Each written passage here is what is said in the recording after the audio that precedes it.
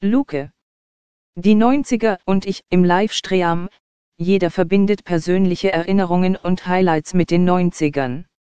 Boybands wie Backstreet Boys oder Tektat oder Musicals wie Der König der Löwen, aber auch der Game Boy wären einige Beispiele.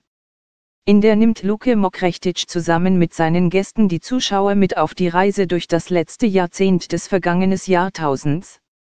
Er schaut zurück auf die Höhepunkte einer bunten Zeit, mit vielen technischen Errungenschaften, teils schräger Musik und einem wiedervereinigten Deutschland.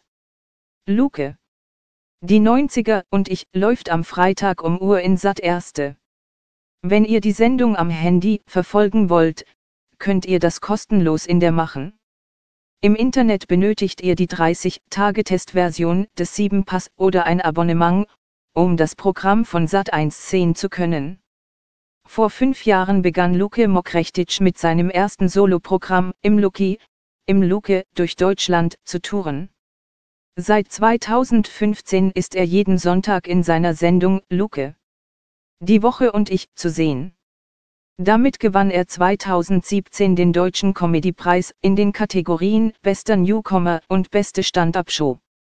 Laut dem Fernsehmagazin Quotenmeter verfolgten die Sendung von vergangenem Sonntag 1,33 Millionen Menschen.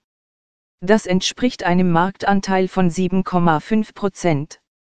Das könnte euch auch interessieren, Luke Mokrechtic, so schlimm war sein Liebeskummer.